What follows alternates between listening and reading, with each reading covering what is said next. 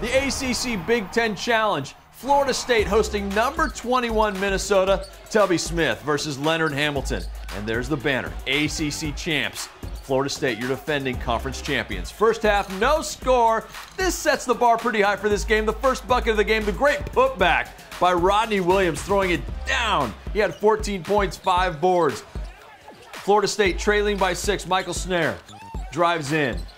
Nice two there, cutting the lead to four. Andre Hollins open and buries it for the Golden Gophers. He scored 41 points versus Memphis this past weekend.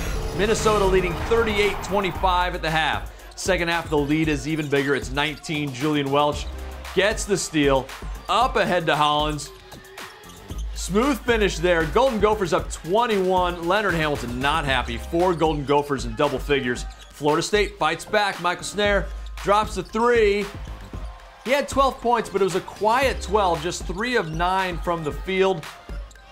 Within 11, but then missing two easy ones down low. Snaer, then Terrance Shannon. Shannon fouls. Minnesota wins 77 68, holding Florida State to just 38% shooting.